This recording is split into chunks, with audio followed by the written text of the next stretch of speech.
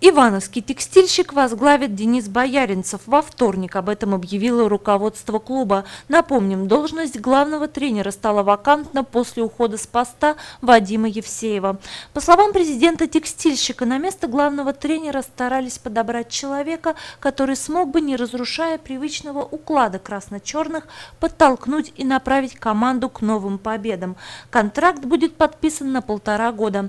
Тренерскую карьеру Денис Бояринцев начал в 2014 году в московском «Торпедо». До приезда в Иваново работал старшим тренером Новотроицкой «Носты». Денис Бояринцев уже успел встретиться с командой и оценить обстановку. А первая тренировка с новым руководителем пройдет в эту среду. Команда достаточно квалифицированная. Сейчас надо просто немножко психологически ее восстановить. А дальше, да, если будут какие-то направления, в которых он увидит, что можно придать еще новый какой-то виток или толчок, да, мы руки ему не связываем, будет делать как бы то, что мы с ним обговорили, ну, его устроил, и мы начинаем работать, и надеюсь, в ближайшей игре увидим первые результаты.